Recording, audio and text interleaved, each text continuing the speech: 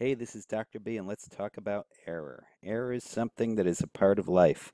Scientists interpret it very specifically. For example, they differentiate between random and systematic error.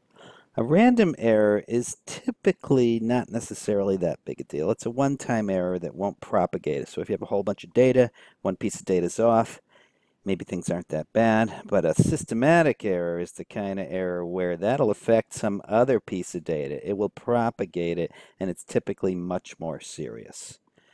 Okay, let's do some examples. You got a mass that you wrote down incorrectly.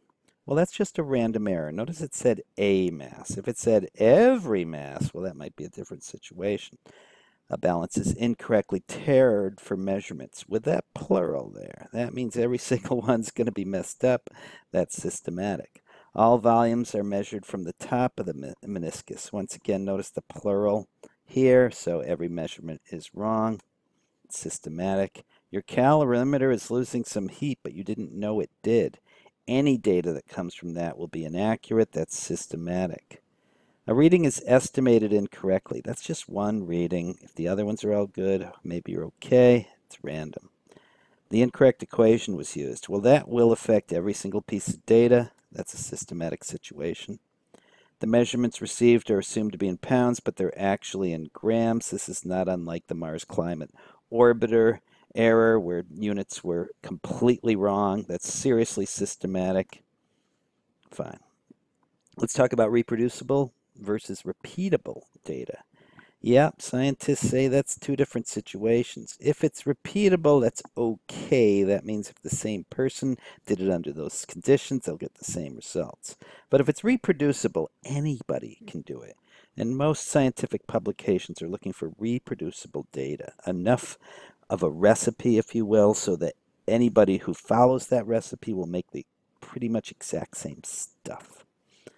Uh, uncertainty does propagate under certain situations. Let's have a look at this uh, piece of data, two pieces of data actually. We've got initial volume of 15.05 mils, so right here, imagine this burette is filled up to uh, right there where the data says 15, and then you drip it in until the second reading says 37.20 ml. So it looks like you added about 22 or so mLs. But let's be precise here. How much was actually added? Well, we could clearly get the difference here, but there's uncertainty in each one. Uh, you can do it the quick way, you can do it the slow way. Let's do it the slow way and come up with a worst case scenario. So if this was actually on the high end and this was actually on the low end, you could have up to 22.25 um, uh, milliliters that are added.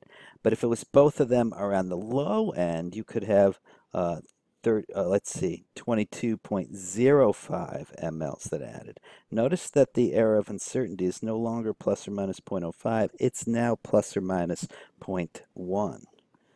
So how much was added? 22.15 plus or minus 0.1 mLs.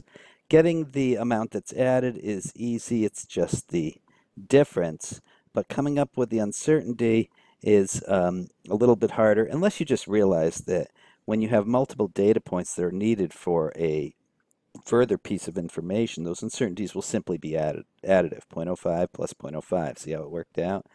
Uh, and if you're not sure, for example, if you're just taking averages and you're not sure if they're propagating or not, do a worst case scenario. Make come up with the highest possible data, come up with the lowest possible data, and split the difference to come up with the uncertainty. That's the way to get it right every time. Finally, let's talk about percent accuracy and percent error. These show up a lot when we're kind trying to determine how good things are. And percent accuracy should give you a smile because that's just like the grade on a test. It's the percent correct. It's like a grade. That's easy. Almost any student knows in excruciating detail how to figure out their grade. Percent error, well, you know, there are formulas, error over accepted value times 100, but why don't you just do the difference, right? If it's 80% accurate, it's 20% error. And that's the case here. You've measured your mass to be 120 pounds. Oh my God, it's really 150. What's your percent error? Well, it's a lot. It's 30 off of those 150, and that's 20%. But you know, why not just do it? First do the accuracy, and then the rest is error, right? You're 120 out of a possible 150. That's 80% accurate, but that means it's 20% error. Either way works fine. Okay, that's a little bit about error.